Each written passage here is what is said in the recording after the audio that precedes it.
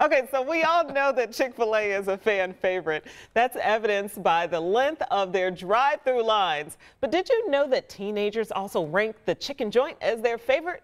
In fact, there is a new survey out tonight that shows Gen Z chooses Chick fil A as its top restaurant. Wow. Starbucks came in second, followed by Chipotle, then McDonald's. Chick fil A hasn't won everybody over, though. Its support for anti LGBTQ organizations and opposition to same sex marriage have some people calling for boycotts of Chick fil A. The survey polled almost 15,000 teens across 47 states.